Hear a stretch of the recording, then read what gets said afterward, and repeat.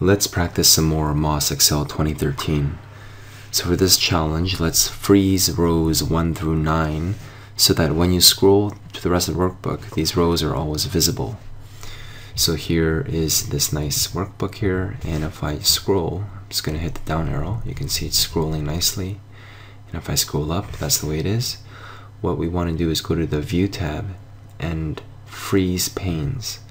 Now, before you hit freeze panes, you have to make sure that your cursor is below this uh, row 9 because when you're below row 9 let's see what happens. Let's click on freeze panes freeze panes and I saw some lines appear some faint lines. And now when I scroll you can see that we froze all these uh, first nine rows so this is great. So let's try unfreezing that. Go to freeze panes unfreeze panes.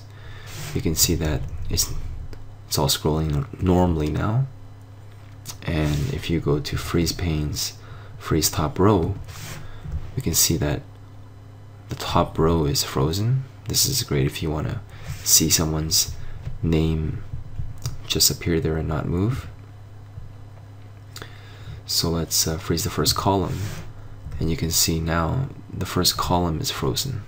Now there's nothing there but you can easily stick someone's first name or last name there. Let's unfreeze panes and let's try that again. Depending on where which cell is selected it's going to determine where the uh, which area is frozen. So if I click on here for example this uh, E10 click on freeze pane freeze panes you can see that this is divided into four sections and it's frozen from the top left corner of the cell that's selected. So now when I scroll you can see that it's freezing everything above this. And if I scroll to the right you can see that everything to the left of it is also frozen. So let's unfreeze the panes. If the goal is to simply freeze the first X number of rows just place your the uh, selected cell one cell under the row that you want to make sure it's frozen. So in this case it's the first nine so I'm going to freeze it here by clicking on cell A10 freeze panes and you can see that by scrolling down this is exactly what I want. There are no cells to the left of A10 so that's why we don't see four sections. We simply see the top and the bottom which are distinct sections so now let's play around with the idea of splitting I'm gonna unfreeze these panes here and try to determine what this split button does so now we want to split this worksheet vertically so you can display rows 1 through 9 in the top window and scroll the budget data in the bottom window.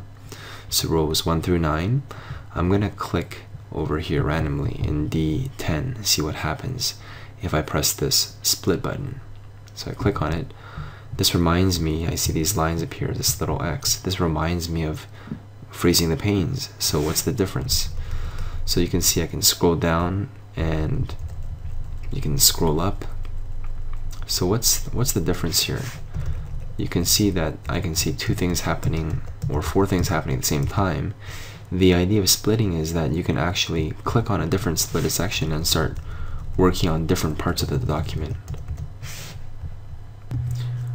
So here, let me just simplify this by uh, clicking on the split button again. And let's just uh, not worry about four different things happening. But let's focus on simply two. So I'm going to move the cell to uh, near the top here. Let me just uh, press page up and go to click on A10 I'm going to split this. So because I split it here like before from when freezing panes we only have two sections now so the idea of splitting is you can scroll down on the bottom little split section and I can work on my document and for this top section, you can also scroll and work on two different sections of your document at the same time. So this is two completely split different uh, views. So as a reminder, let's unsplit this and let's uh, remind ourselves what the difference is by going to cell A10, freezing the panes, and I'm gonna scroll down here. You can see that I can always see the top section. But when I click on the top section and I push down it just returns me back to the original uh, position. So here the top section doesn't move. It's a little bit different than split. You should try that. So we'll continue with 1.4b the second part in the next video